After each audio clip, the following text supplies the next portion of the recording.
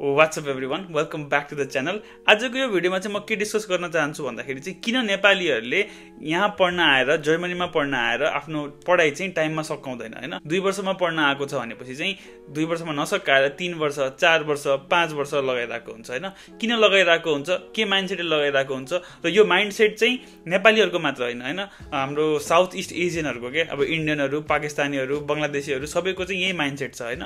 यो के हो किन हो भन्ने कुरामा चाहिँ आज यो भिडियोमा डिस्कस गर्छौँ. So without wasting any time let's get started यो पोइन्ट सुरु गर्नु भन्दाखेरि चाहिँ म के भन्न चाहन्छु भन्दाखेरि चाहिँ यो कुरा हुनुको लागि चाहिँ एउटा मेजर फ्याक्टर छ त्यो भनेको चाहिँ हाम्रो पब्लिक युनिभर्सिटी जर्मनीमा चाहिँ फ्री हुन्छ होइन? ट्युसन फी लाग्दैन. सो ट्युसन फी नलागेपछि चाहिँ तपाईँले सेमेस्टर कन्ट्रिब्युसन मात्रै दिनुपर्ने हुन्छ। सेमेस्टर कन्ट्रिब्युसन भनेको चाहिँ एकदम मिनिमम हुन्छ दुई सयदेखि पाँच सयसम्म पर सेमेस्टर जो चाहिँ एकदमै अफोर्डेबल हुन्छ। त्यसले गर्दाखेरि चाहिँ त्यो तिर्नु it's not a big deal for students होइन? यो कुरा अरू कन्ट्रीमा एप्लिकेबल हुँदैन।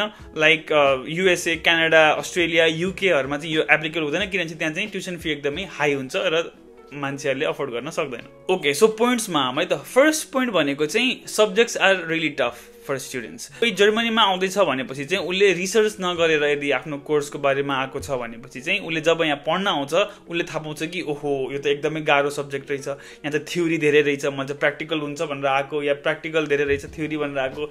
जे पनि हुनसक्छ होइन? त्यो माइन्डसेट जुन नेपालमा बस्दाखेरि विदेश जानुपर्छ भन्ने माइन्डसेट हुन्छ त्यो यहाँ आइसकेपछि चाहिँ अब माइन्डसेट चेन्ज हुन्छ। अब त एक्चुली त्यो भोग्नुपर्ने हुन्छ। र आफूले गर्न सक्दिनँ जस्तो लागेर उसले लम्ब्याउँछ होइन? एउटा सेमेस्टरमा पाँचवटा सब्जेक्ट दिनुपर्ने थियो भनेपछि चाहिँ उसले अब दुईवटा सब्जेक्ट तिनवटा सब्जेक्ट मात्र लिन्छ होला होइन? या इभन एउटा सब्जेक्ट मात्र लिन्छ होला। अर्को पनि कुरा के छ भन्दाखेरि चाहिँ हाम्रो तिनचोटि भन्दा बढी फेल भयो भनेपछि चाहिँ एक्स म्याट्रिकुलेट हुन्छ। जर्मनीबाट नै त्यो कोर्सको लागि होइन? सो एउटा सब्जेक्टमा तिनचोटि भन्दा बढी फेल हुन मिल्दैन। त्यही भएर नै मान्छेहरूले बरु कम सब्जेक्ट लिने तर राम्रोसँग पढ्ने भन्ने कन्सेप्टले लम्ब्याइरहेको हुन्छ। अर्को भनेको चाहिँ फेरि त्यहीसँग रिलेटेड पोइन्ट छ। त्यो अब जब अपर्च्युनिटिजको बारेमा पनि थाहा छैन होइन?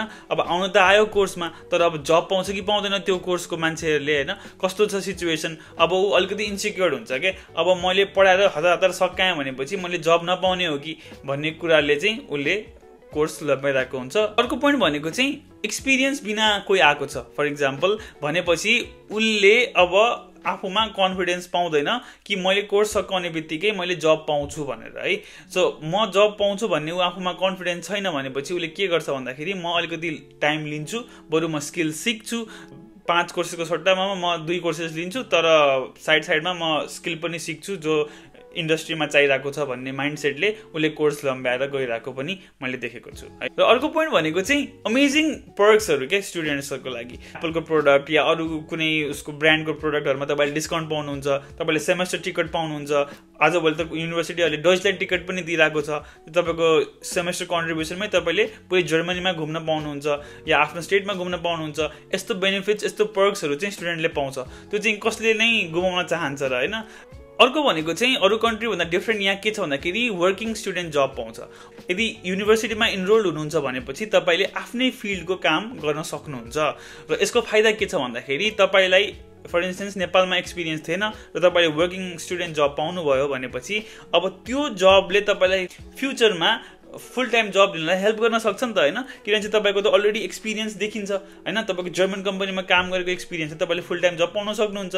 र मान्छेले वर्किङ स्टुडेन्ट जब गर्दाखेरि एक वर्षमा कन्फिडेन्स त्यति डेभलप भएको छैन भनेपछि उसले अझै डेढ वर्ष दुई वर्षसम्म वर्किङ स्टुडेन्ट नै जब गरेर अनि इभेन्चुली बल्ल जब कन्फिडेन्स आउँछ कि म फुल टाइम जब गर्न सक्छु भनेर अनि बल्ल फुल टाइम जब लिन्छ। अर्को भनेको चाहिँ तपाईँले फुल टाइम जब लिनलाई ग्रेजुएट हुनु पर्दैन क्या? मैले मास्टर्सको लागि भन्दैछु होइन? मास्टर्सको लागि चाहिँ तपाईँले ब्याचलरकै सर्टिफिकेटले पनि फुल टाइम जब लिन सक्नुहुन्छ।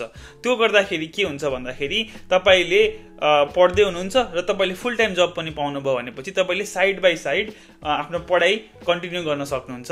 अब तपाईँ फुल टाइम जब गर्नुहुन्छ पार्ट टाइम स्टडी गर्नुहुन्छ होइन?